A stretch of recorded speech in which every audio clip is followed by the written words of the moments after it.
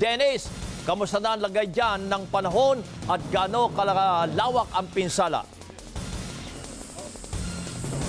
Kabayan dito sa Mindoro ay panakanaka ay nagkakaroon pa rin ng pagbuhos ng ah, ulan kaya posibleng ah, tumaas pa ang ah, mga baha sa ilang mga barangay dito sa Oriental Mindoro. Ito't lalo't nasa kritikal na antas pa rin ang level ng mga tubig sa ilang malalaking ilog dito sa Calapan City at dito sa bayan ng Bako. Isang pamilya naman ang inilikas sa gitna ng lumaragasang baha dito sa bayan ng Bako. Naglatag na ng lubid sa magkabilang bahagi ng ilog ang mga rescue team ng MDRRMO para masagip ang isang pamilya.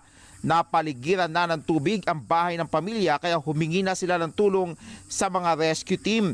Natangay din ang lumaragasang baha ang tulay na kanilang dapat sana ay tatawiran matagumpay na mga kabayang nasa gip ang mag-asawa at dalawa nilang anak na babae. 25 barangay dito sa bayan ng Bako ang nalubog sa baha at maraming kalsada ang hindi pa rin madaanan. Ang sabi ni Mayor Alan Roldan, sa tindi ng buhos ng ulan, lumagasa ang tubig mula sa bundok at umapaw ang mga ilog kahit isinailalim na sa state of calamity itong bayan ng Bako. Kanina namigay na ng ayuda ang lokal na pamahalaan at DSWD sa nasa higit uh, 10,000 pamilya na naapektuhan ng pagbaha. Pinipilit natin ang lahat ng barangay ay mapadalahan natin ng tulong sa tulong ng DSWD at syempre sa mga taong gustong tumulong. Bukas po ang bayan ng Bako para sa inyong mga tulong.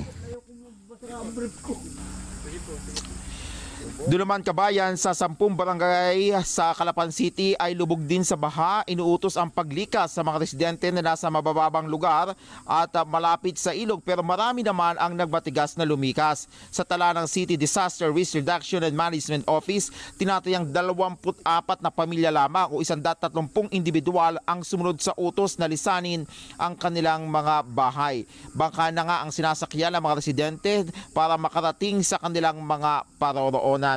Kabayan, uh, doon naman sa bayan ng Rizal sa Occidental Mindoro, siyam na pamilya o apat na pung individual din ang sinagip ng Coast Guard at MDRRMO sa Sichu Lumintao sa Barangay Malawaan. Napalibutan na ng uh, apat na talampakang taas ng baha ang kanilang mga bahay kaya nagsagawa na ng rescue operation ang mga otoridad.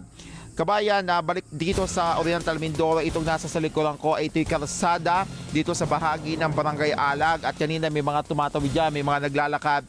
Ay ang sabi nila ay mga hanggang uh, baywang pa yung pinakamataas na baha dyan.